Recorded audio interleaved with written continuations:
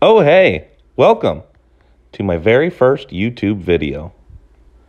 Here we've started a new project. We are sanding and finishing these existing select white oak hardwood floors. Now, these are a new install, um, but the process is the same for this. If you were to be uh, sanding and refinishing, you know, an old existing floor, no matter the species of wood, this process would be the exact same. And so through showing you kind of my steps and how I do these hardwood floors, I'm hoping to be able to teach you or help you along in your process so that you could do this yourself. Maybe you're doing it in your own home or thinking of starting uh, maybe a business doing something like this and you don't know how to do it. This is a trade that's kind of, um, I don't want to say the trade is dying, but it does certainly feel like less and less people know how to do this. Um, and so I don't I don't want to gatekeep on on this on this process. I want to teach you how to do it.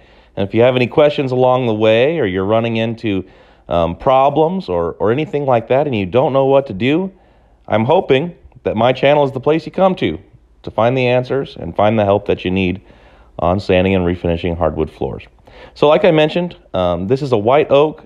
It was installed by a different um, contractor, but that person did not know how to sand and finish. And so the homeowner brought me in to do that part of the process. So these first clips you see me doing here are rough sanding. Um, this is the downstairs of the home. We are doing upstairs and downstairs. The first couple days um, I spent downstairs. Um, and so you see me here um, with the big machine in the first few clips and now the edger. I am rough sanding the floor.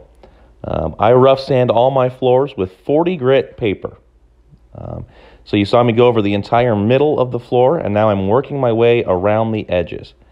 Now, whether it's a new floor that you're working on or it's an existing floor, um, you want to get the, the wood as smooth and as flat as you can get it in this process. If it's a refinish, you want to make sure with that 40 grit paper to get all the old finish off there.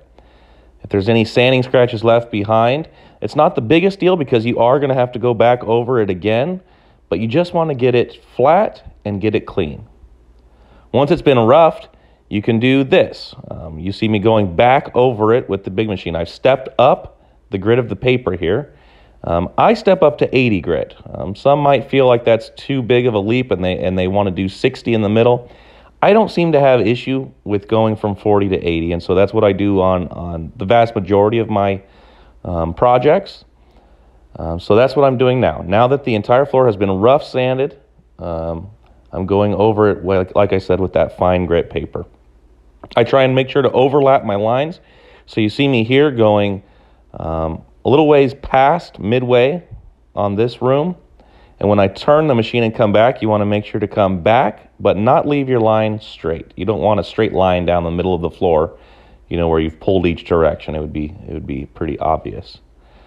Um, in these clips, after you find sand, I forgot when I was doing this floor, I forgot to record my buffing. Um, so that's a mistake I, I made, and I'll fix it on the next one and show you how to buff.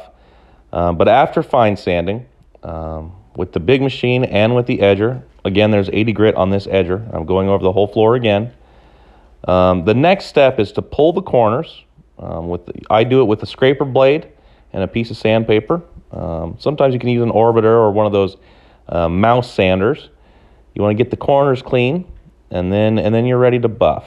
Um, you will see some clips of me buffing later in this, um, but I, I, forgot to do it. I forgot to record on the on the initial um, buffing, so that's that's my fault, and I will make sure I uh, make sure I record on the next floor.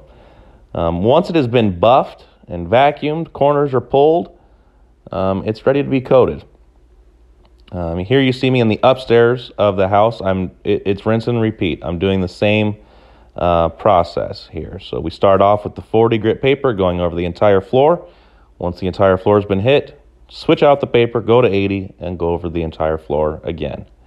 At that point is when I pull the corners and then buff and vacuum.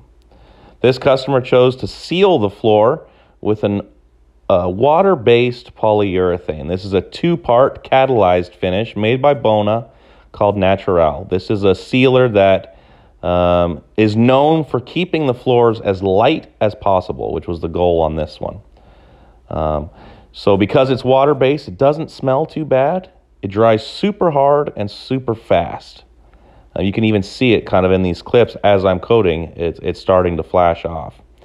So I pour myself a little trail, um, and then I use this pad, which is made by Duratool, and I, I spread out um, the finish. It's almost like, it's got the texture of almost like a paint pad. Um, I spread out the finish. On this one, because it's a water-based um, sealer, I'm actually going to just come in the next morning and just coat it again. So you'll see me doing that here. This is coating my way out. And then here we are the next day. First things first in the morning, I'm coating the floor again. I want to build up that layer of protection because we are going to be buffing this second coat of finish. Because they're both water-based finishes, you're not going to have adhesion issues here. Um, there's, a, there's a little bit of a different process if you're doing like an oil-based polyurethane, and I'll definitely show you that in future videos. This one, this just happens to be the case on this one. So after the two coats are on, I give it about three and a half, four hours to dry. I come back, I hook up my buffer, um, which you see me doing here, and going over the entire floor. Um, on my buffer, I use a maroon conditioning pad, and then I will apply some sanding tape to it. I use 200 grit sanding tape, go over the entire floor. You can see how it's got a slight dust to it. That's what you want. You want to see the floor have a slight dust up, and then you go back over it with the vacuum, clean it up, and it's ready to coat again. So here you see me now applying what's going to be the final coat on this project.